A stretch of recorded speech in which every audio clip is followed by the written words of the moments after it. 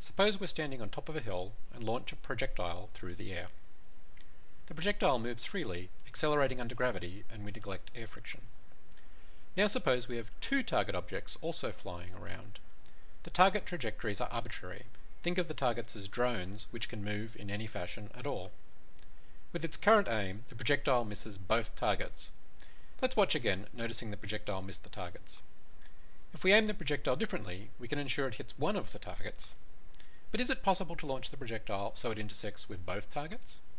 So it'll be killing two drones with one stone, so to speak?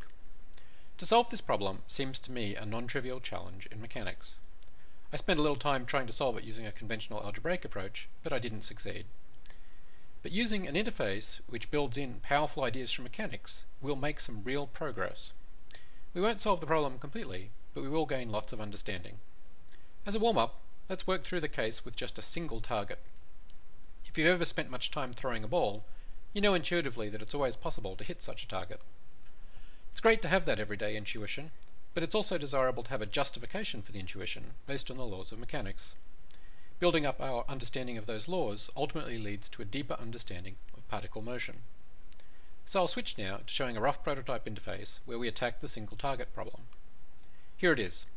I've started out showing the stone, its launch velocity, and a single target object.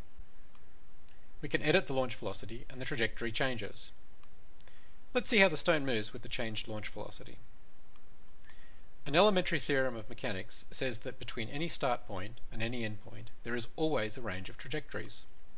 We can build this theorem into the interface, to see this, let's delete our trajectory, reselect the original start point, select a point on the target trajectory, and select a trajectory for the stone. Let's see how the stone moves along its new trajectory. The stone doesn't hit the target trajectory at the right time, but we can address that by changing the timing of the throw.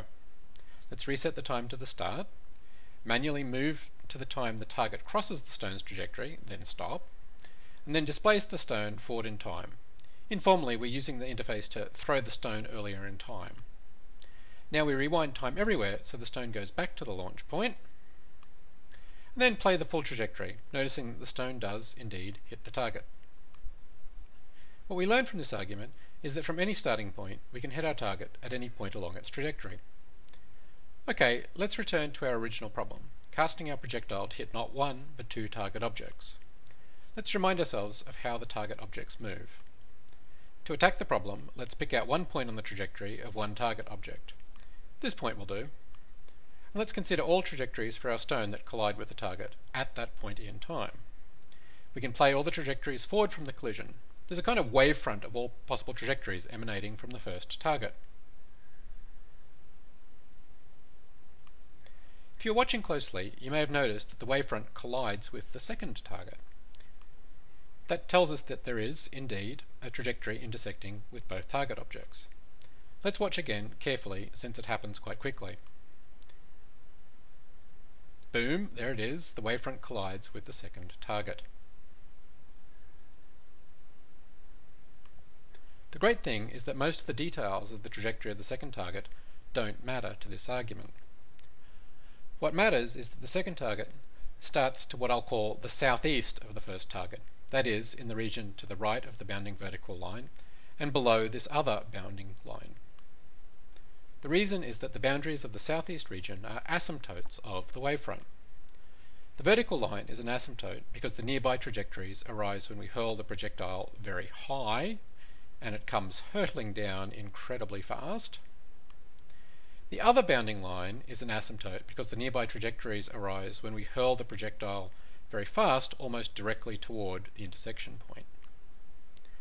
Using these facts and the intermediate value theorem, it's possible to give a rigorous proof that the wavefront and the target collide.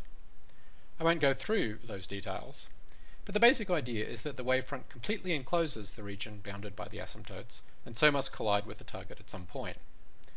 One caveat to making the proof work is that the target's velocity must be bounded so it can't run away too fast from the wavefront. But provided that's true, the target can't escape. The upshot of all this is that we've discovered something very interesting. Provided the targets have bounded velocity, and one is to the southeast of the other at some point, we can throw a stone so as to collide with both targets. This isn't a complete answer to the question, when can we ensure a projectile passes through targets, two, through two targets, but it's a good start, a non-trivial insight, a small discovery.